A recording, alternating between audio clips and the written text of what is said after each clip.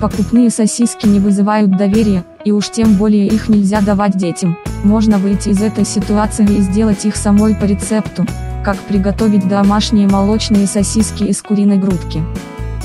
Сосиски – это отличный вариант для быстрого перекуса, они хорошо сочетаются с гарниром из картофеля, с кашами, макаронами и прочим. Готовлю сосиски из куриного филе, но можно его заменить другим видом мяса, например, свининой или говядиной.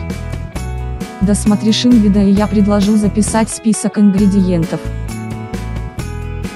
1. Сырую свеклу вымойте и очистите, затем выдавите из нее сок. С помощью соковыжималки или обычной терки, необходимо 40 мл. 2. Филе вымойте и вытрите насухо, нарежьте небольшими кусочками и пропустите через мясорубку. 3. Измельченное филе переложите в блендер и взбейте до образования пастообразной массы. 4. К измельченному филе добавьте соль, перец, паприку, куриные белки, влейте сливки и свекольный сок, перемешайте. Ставим лайк и подписываемся. 5.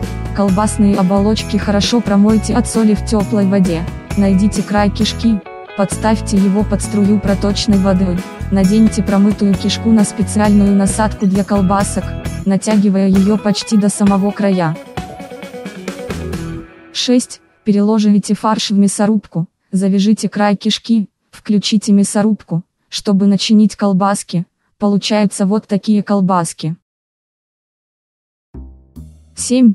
В кастрюлю налейте воду, доведите до кипения, затем отварите в ней сосиски 10-18 минут.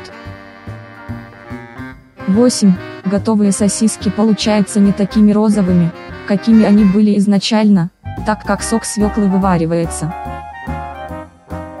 Подписавшись, не пропустите новые вкусняшки. Необходимые ингредиенты.